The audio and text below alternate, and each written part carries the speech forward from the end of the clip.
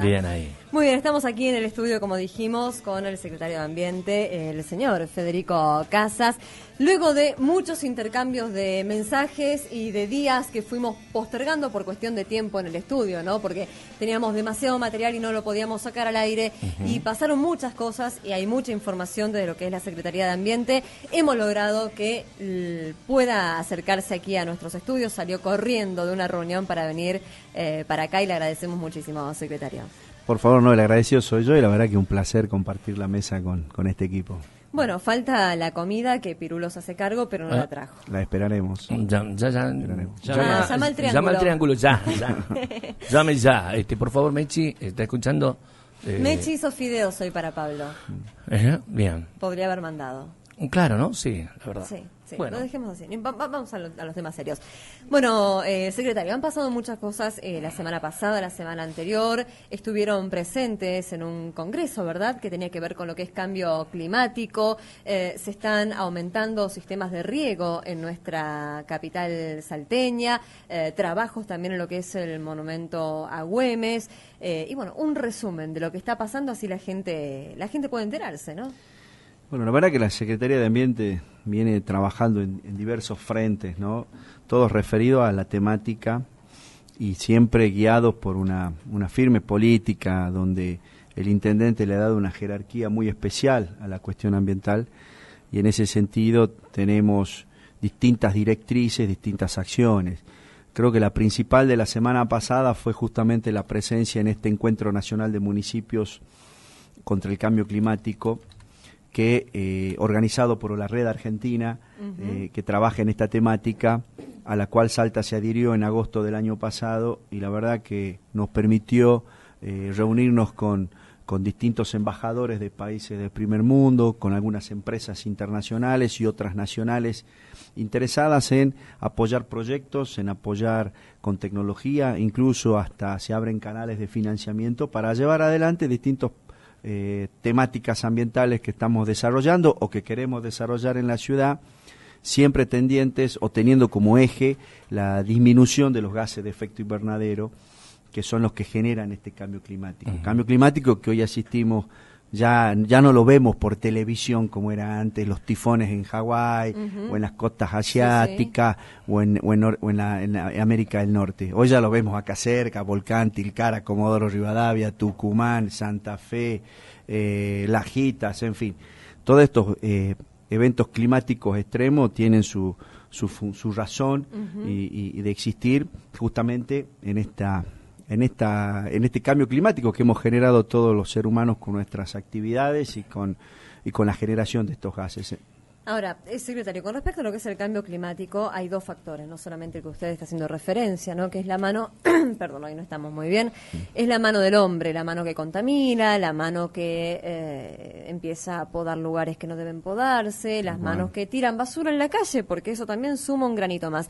Pero desde el momento que se produce eh, la, la, la, explosión ¿no? que genera la teoría del Big Bang, luego lo que es la separación de continentes, hablamos ya a partir de ahí de cambio climático provocado directamente por la naturaleza, provocado directamente por el centro mismo de la Tierra. Acá estamos conjugando dos situaciones. Exactamente, lo que hace la actividad humana es acelerar los procesos naturales de cambios que tiene nuestro planeta.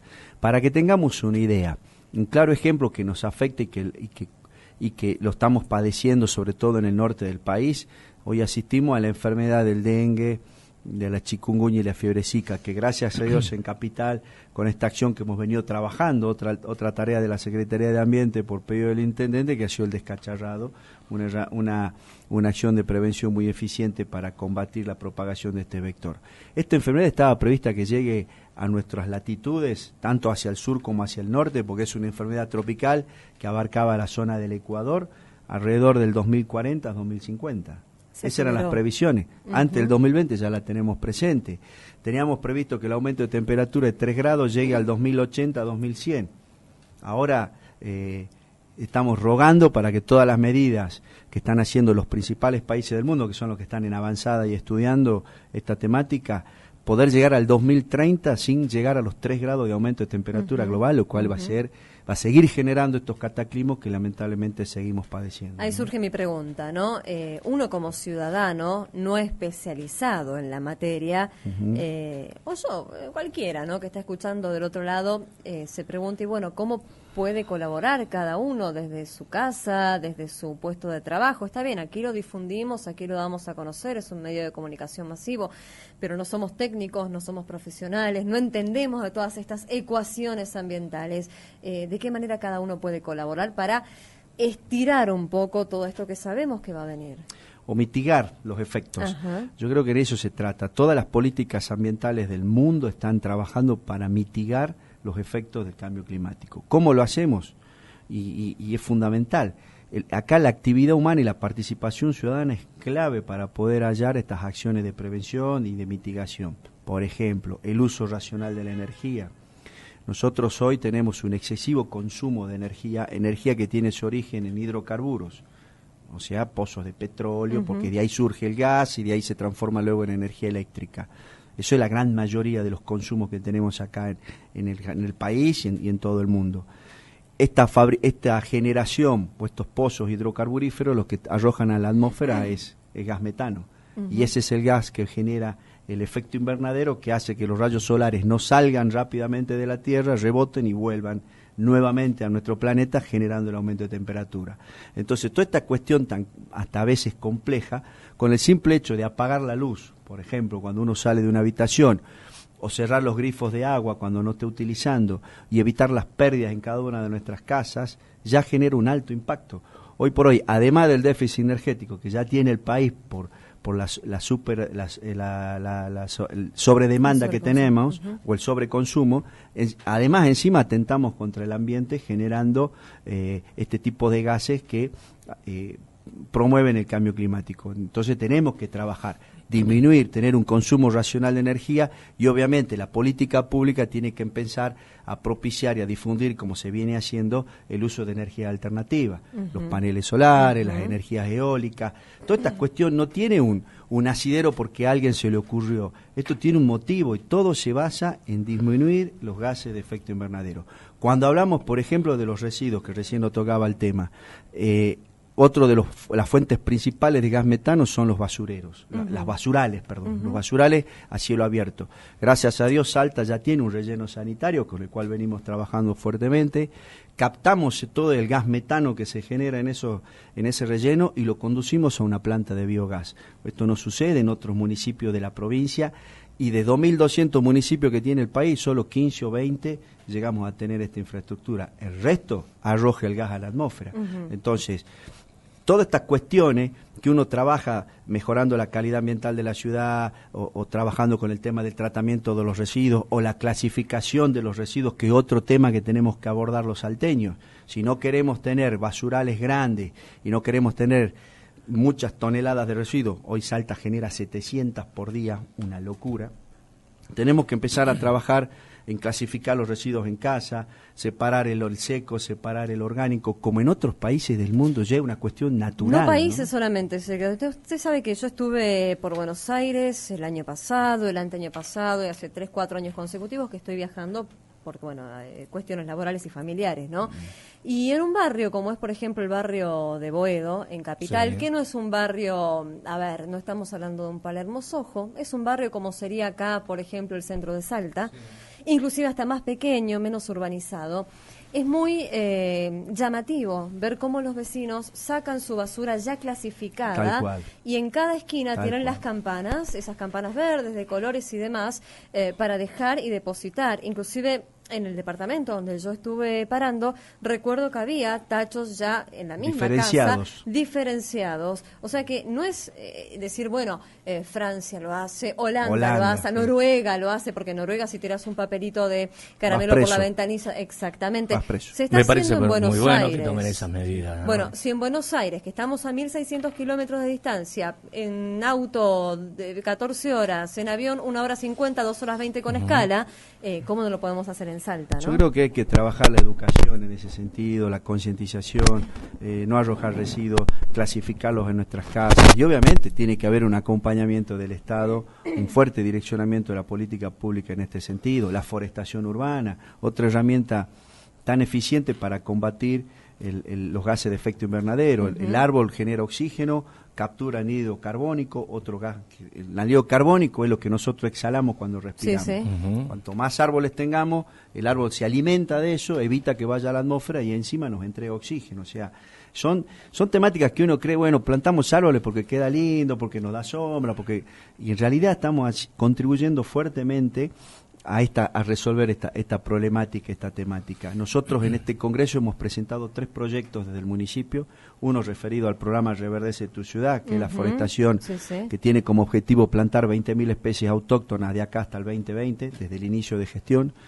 Otro, otro proyecto que tuvo mucha aceptación fue conseguir fondos y, tecnología y financiamiento para el cambio de la luminaria hoy de vapor de sodio y de mercurio halogenado que nos tenemos consumos muy altos de alumbrado público por luminarias tipo LED que nos va a bajar drásticamente el consumo, vamos a ahorrar, todos los salteños vamos a gastar menos porque al fin y al cabo la boleta que paga la municipalidad la pagamos entre todos, vamos a disminuir casi un 50% el consumo y además contribuimos a no utilizar mucha energía, que es otro de los, de los fundamentos que está buscando el mundo la tarea que como objetivo de las cuestiones ambientales. Además que está comprobado, ¿no? Que eh, la iluminaria LED este, contribuye mucho a evitar el calentamiento, también en lo mismo que es el consumo, ¿no? Exactamente, exactamente. Bueno, son por eso que llamado mucho la atención que hemos llevado eh, carpetas informativas, hemos tenido reuniones un congreso muy bien armado, con panelistas, con miembros del Ministerio de Ambiente de la Nación,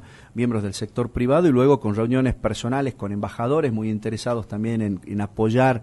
Yo creo que el mundo se ha dado cuenta que como se trata de un efecto global, cualquier acción local contribuye y ellos y sobre todo los países del primer mundo eh, se dieron cuenta que tienen que colaborar con los países en vía de desarrollo porque por más que ellos hagan y tengan todo perfecto, el planeta lo afectamos entre todos y, todos tenemos que contribuir para, para mejorar esta situación y, y, que no se complique. Hoy por hoy, mientras el objetivo era llegar a aumentar eh, 1 o 1,5 grados hasta el 2030, hoy por hoy con llegar a 2 grados ya se conforman. O sea, todavía eh, está faltando mucha concientización al respecto y por eso es que se está trabajando a nivel global con esta cuestión. En una de las eh, concientizaciones que costó prácticamente porque justo se dio eh, tomar esta medida justo cuando ya llegaban las fiestas de fin de año del año pasado, con respecto a la prohibición de la venta y la utilización de bolsas en los supermercados. Tal cual. Que fue una, medida,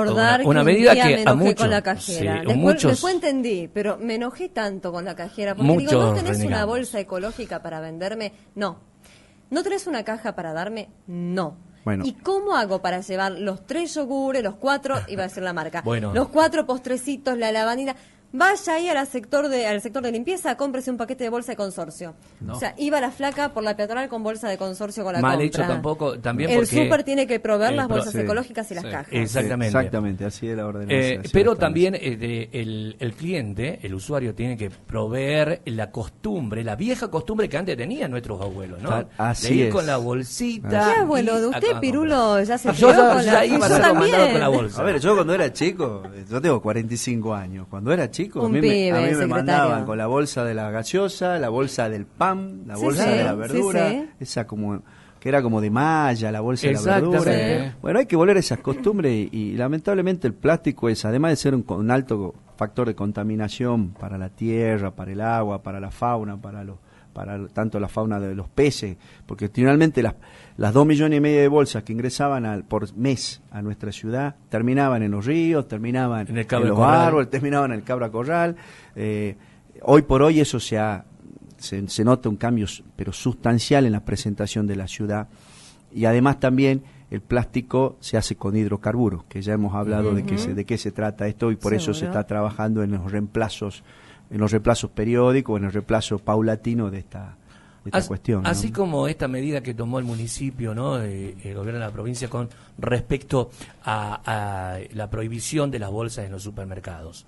El municipio, la Secretaría de Medio Ambiente, ¿tiene pensado controles más estrictos contra lo que son los microbasurales? Porque hay que tener en cuenta que hay vecinos que son bastante tercos eh, me consta, porque vivo en un, en un barrio donde... Hoy subí una hay- foto de pleno centro la esquina de mi casa. La esquina Está en eterna, fe- por en ejemplo. mi Facebook es la esquina de Rioja Sí. y... Y Lerma. ¿Dónde vivo Eh? Rioja y Catamarca. Alberdi, Alberdi, Rioja. eh, Alberdi y Rioja también. Eh, bueno, ahí Bueno, hoy limpiaron, esquina- pero la es esquina- un micro basural todos los días, todas las noches. La esquina Perdón, eterna- y baño perruno. Sí, y la esquina eterna de basura es la tradicional este, calle eh, Rioja y Catamarca, ¿no? Tremendo. Eh, que hay allí constante, durante años, el micro basural allí.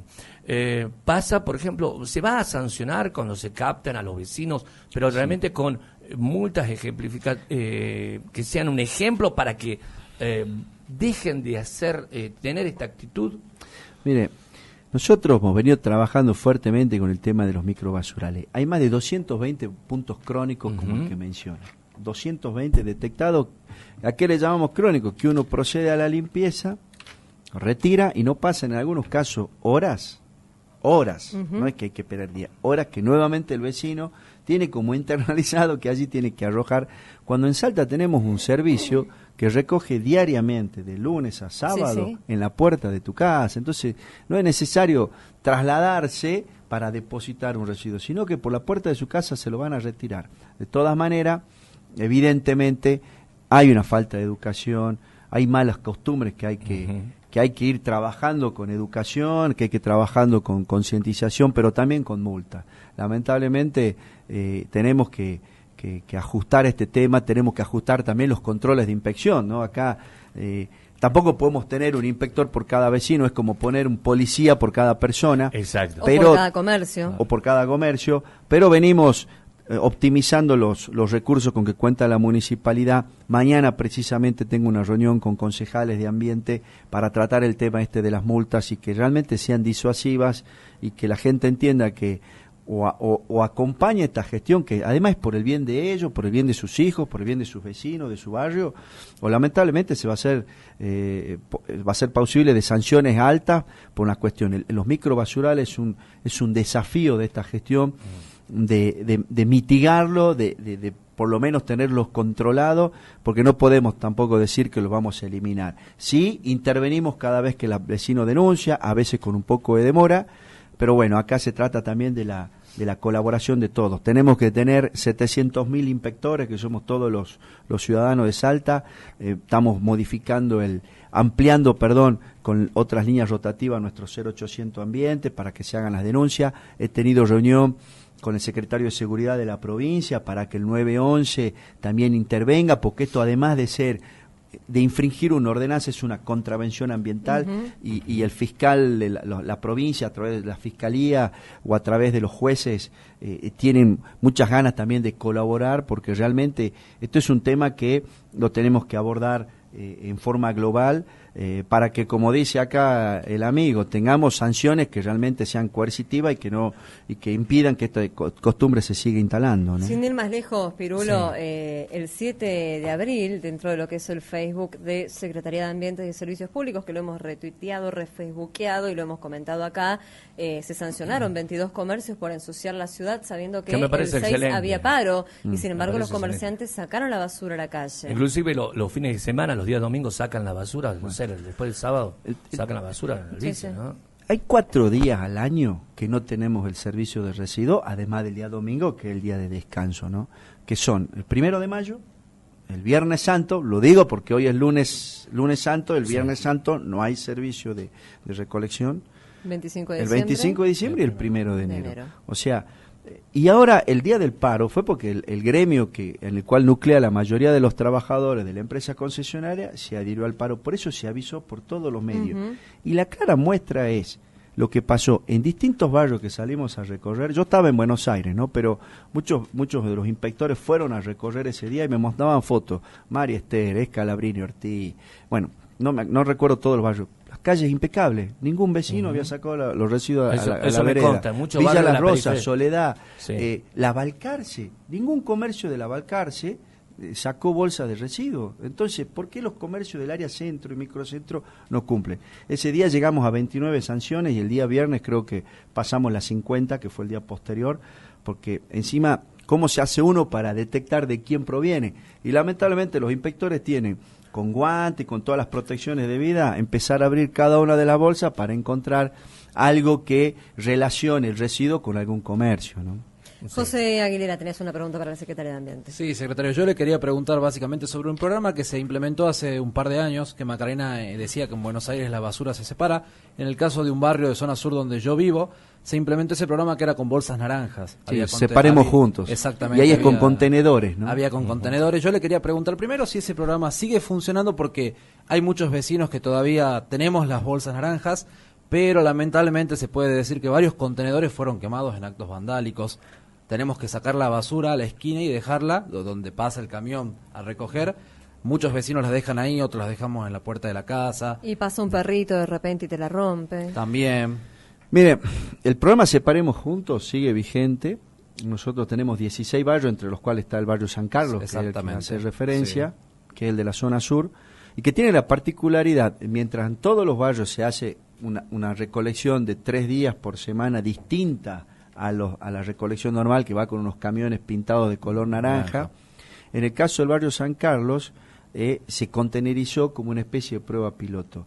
Lamentablemente, debo decir que no está funcionando la contenerización porque si bien el vecino participa y clasifica y, arroja el residuo como corresponden, vienen otros que no sabemos quiénes que arrojan cualquier tipo de residuo. Entonces, cuando llegue el contenedor a nuestro relleno sanitario y, y los recuperadores son los que son los que esperan ávidos porque ya viene todo preclasificado, a veces me dicen, ingeniero, no es más fácil clasificar el residuo que viene en el camión normal que el que viene en el camión de Separemos Juntos. O sea, cuando realmente lo que se busca es facilitarle a ellos también la posibilidad de optimizar sus ingresos y, y, y con ello ellos mejoran su economía familiar y nosotros enterramos menos residuos en nuestras trincheras. Lamentablemente, en el barrio San Carlos tenemos ese inconveniente ahora con el nuevo convenio que se ha suscrito a finales del año pasado y que estamos ahora por implementar. La idea y el desafío es duplicar al menos la cantidad de barrios, extenderlos a más barrios y también ver si se sigue o no con la contenerización o se va directamente a otro esquema de trabajo que bueno ya lo informaremos próximamente. Pero entendemos que, que es una, una algo muy importante que la ciudad tiene que seguir trabajando en la, en la clasificación y ampliando este servicio. Lo que sí está incluido, por ejemplo, son 50 campanas como la que observamos en la Plaza 9 de Julio o en la legislatura para generar puntos verdes en 50 lugares que también los informaremos y serán rotativos para que el vecino vaya practicando allí y pueda depositar esos residuos secos como el papel, el cartón, los plásticos. Antes de pasar a la otra pregunta, ya que estamos hablando de que el vecino practique, eh, en los centros comerciales de nuestra ciudad, eh, el que está haciendo para Tres Cerritos, el que está en zona sur, tiene sus tachitos de basura para lo que es el residuo sólido. Claro, pero es muy cómico ver cómo la hamburguesa va a donde dice residuos secos y eh, la cucharita descartable va a donde dice comida. Eso, lamentablemente, es cuestión de cultura, ¿no? Hay que leer, ¿no? yo he visto casos de mire, yo antes de trabajar en la función pública trabajaba en, la localidad de Cafayate. Entonces viajaba toda la semana para allá. Y uno veía cómo el turista, sobre todo va mucho turista nacional y va mucho turista extranjero, era incapaz de arrojar un papel en, la, en la ruta. Ahora, cuando llegaba la época del verano, que es la temporada nuestra, del salteño sobre todo, estamos hablando de enero y sobre todo febrero por la serenata, desde un auto de el más antiguo hasta el auto más nuevo y de alta gama, bajando las ventanillas y tirando de todo por la ruta. Realmente pañales, daba, hasta pañales. usted, vamos con el ingeniero. Vamos, vamos, no, no, no, si es recorrido, espere, stop. Si es recorrido Atención, de obras... Ariel Atención a toda la gente de la municipalidad de la ciudad de Salta. Si es recorrido de obras para hacer cobertura periodística, voy a todas. Ahora, si usted me dice, salimos a bailar, no, no me prendo, Alejandro. Pero ahí también vas a controlar si tiran los residuos o no tiran los residuos. Voy a ir, cómo ensucian la noche y Salta. Espero la invitación formal de la Secretaría de Ambiente. ¿Cómo no? Ah, la haremos llegar, la haremos llegar. Con el móvil oficial, por favor, porque no tengo auto. No, no, no se puede. Fuera de horario no se pueden utilizar los móviles oficial. Muy bien, esto es MDB 2017, ya estamos pisando los últimos minutitos de programa. Estamos aquí con el ingeniero Federico Casas, secretario de Ambiente de la Municipalidad de Salta. Y Alejandro Parada, quedaron muchas preguntas pendientes. Le cuento que no tiene tiempo para todas, pero vaya de a Bueno, las dos principales, como, como decíamos, vamos a detenernos cuando, cuando el ingeniero decía la colaboración de los jueces, ¿no? Eh, del Poder este, Judicial que eh, realmente se va a tomar medidas, la municipalidad va a pedir la colaboración también para eliminar, por así decirlo, esos, mm, ya no son micro, sino macro basurales, ¿no? de residuos, inclusive patógenos de los vehículos siniestrados que tanto en, en distintos puntos como Barrio Autódromo, la comisaría del Barrio Autódromo, que no pueden ya circular los vehículos, al San Remos, eh, tenemos inclusive en el centro de la ciudad, en la General Güemes, esquina de Anfunes. Hay un 147 que ya no sé qué color es porque perdió el color que hace como 20 años. Sí, no, hay... Esto, esto forma parte, entiendo yo, de una problemática general como son los autos abandonados, ¿no? Y con más razón en el caso de eh, los autos que están en las, en, los, en las proximidades o alrededores de las, de las comisarías o de las subcomisarías, eh, que bueno, que lamentablemente han sufrido algún tipo de siniestro, en muchos casos con víctimas fatales, en otros no, y que sí, efectivamente uno observa, primero, eh, que se van deteriorando con el tiempo, que continúan apostados allí, y que en muchos casos, por, por cuestiones del siniestro que han, que han sufrido, uno observa que se generan focos de contaminación. ¿no? Quizás no sea un lugar de inseguridad, como uno ve en otros autos abandonados en otros puntos de la ciudad, bueno, habida cuenta porque tienen la comisaría al frente, o la subcomisaría o la institución policial, pero evidentemente se tratan de elementos que dañan nocivamente al ambiente y que pueden generar problemas en la salud de los habitantes.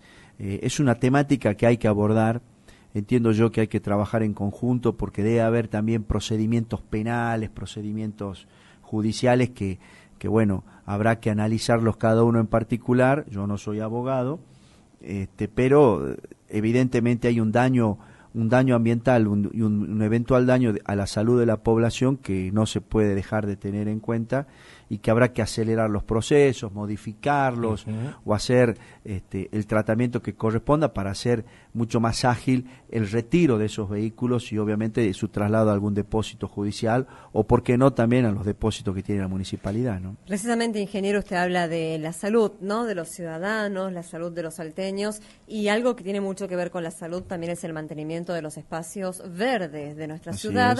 Eh, ahora llegamos a, a este punto. ¿no? Se está trabajando en el monumento a Güemes, en toda la parte verde. Se estuvo trabajando también en un principio en el Parque San Martín y entiendo que continúan estas obras de mantenimiento, ¿no? Para nosotros la recuperación de espacios verdes es, es, uno de los ejes fundamentales de la gestión.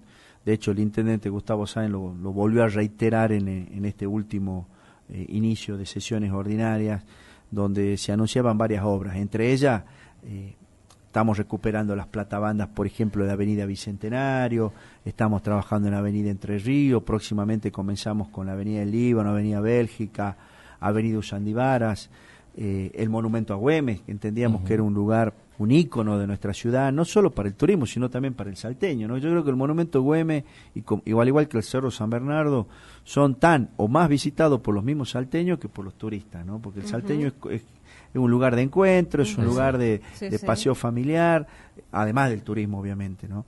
Entonces, son lugares que hay que, que hay que embellecer, que hay que mejorar la parquización, estamos analizando de instalar algún sistema de riego en el Monumento Güemes que tampoco afecte a, las presiones de agua de los vecinos, pero que también mejore sustancialmente y abarate los costos de mantenimiento para tener un, monumento como todos, como todos deseamos, ¿no? con una mejor iluminación, con un parquizado adecuado y con un mantenimiento sobre todo adecuado eh, eh, para que bueno sea un lugar eh, como corresponde y que sea y que cuando los, visitantes lleguen o, o los salteños se acerquen allí lo puedan disfrutar plenamente.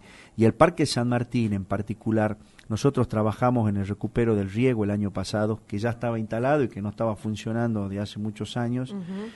Y el Intendente ha conseguido unos fondos importantísimos en la Nación.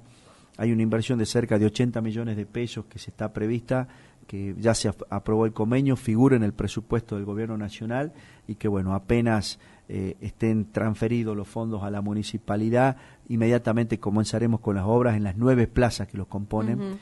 Eh, porque entendemos que también es la cara visible de la ciudad y lo primero que ve el visitante cuando llega por tierra, eh, desde Por, por, la terminal o por el acceso de el acceso este que tenemos, que es de mayor de mayor transitabilidad, que viene por ruta 34 o ruta 9, mejor dicho, Así que es uno de los desafíos que tenemos en esta gestión. Entiendo yo que en el Parque San Martín, en el segundo semestre, ya estaríamos en condiciones de comenzar con las, con las obras allí. ¿no? La pregunta de cajón ingeniero, porque estamos llegando ya al final. Eh, me hizo, llegó un mensaje de texto, sí, pero es para José García. A ver, ya vamos a ver.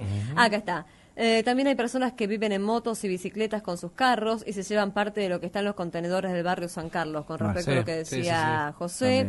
Eso pasa. Exactamente. Eh, bueno, la pregunta de cajón, y con esto vamos, vamos cerrando. Hace un par de semanas hablamos con usted después de un corte abrupto telefónico que hemos tenido aquí, que nos ha marcado hasta el día de hoy no podemos dormir del señor... Usted estaba bajo tratamiento psicológico. Eh, continuó, continuó. Sí, bajo tratamiento psiquiátrico. El señor Freddy Flores Carrero, que no tiene carro, nos cortó abruptamente el teléfono cuando hablábamos precisamente de el censo a los carreros, de la erradicación de la tracción a sangre en nuestra ciudad para la implementación de lo que son motos vehículos o motocarros. Eh, los censos continuaron, ingeniero, y en qué etapa nos encontramos ahora. La verdad que nosotros estamos muy contentos con la gran participación de la familia Carrera. El 4 de agosto el intendente ha sido muy claro y taxativo que se termina la tracción a sangre, lo cual no significa que estemos en contra de la actividad carrera eh, eh, en general, sino simplemente que vamos a modificar los sistemas de tracción, es decir, aquel que quiera seguir con esta actividad lo podrá seguir haciendo, solamente que ya no con un caballo ni con un animal, sino tendrá que ver algunas alternativas de, medios de locomoción. Eh, también es cierto que estas familias eh, tienen una marginalidad evidente en la mayoría de sus casos. En este censo, en los cuales, eh, comenzando en Solidaridad, luego en el SIG de Villa Asunción y ahora en esta semana en Unión, ya estamos llegando a las 200 personas registradas, cuando muchas personas o muchos referentes sociales nos decían que no iban a llegar ni a 10 personas las que se iban a acercar. Bueno, ya estamos llegando a las 200, creemos que vamos a superar ese número y, y esto nos da la pauta de que hay un marco de referencia para poder empezar a trabajar todo junto con este proceso de reconversión. Aquella persona que quiera seguir eh, con la actividad, veremos cómo el Estado colabora, el Estado municipal y también el Estado provincial y nacional en, la, en el recambio del medio de tracción. Y, y, hay muchos que también es bueno destacar que quieren hacer otra actividad, quieren o tienen un oficio y quieren perfeccionarse o quieren aprender otro oficio hay eh, eh, mamás o, el grupo femenino de la familia Carrera que muchos no tienen estudio y que ya, ya se están anotando en la Escuela de Arte de Oficio o están haciendo algunos cursos que, que tenemos en disponibilidad. En el caso particular, en el SIG de Solidaridad, muchos ya están eh, participando de distintos cursos de capacitación. En fin, el abanico de, soluciones que ofrece el municipio es amplio eh, y por eso invitamos a la familia que siga acercándose, registrándose, porque de esta manera vamos a poder saber eh, dónde estamos parados y cómo llevar adelante este proceso de reconversión. ingeniero. muchísimas gracias. Por favor, agradecido soy yo y un placer compartir la mesa con ustedes. Muchas gracias.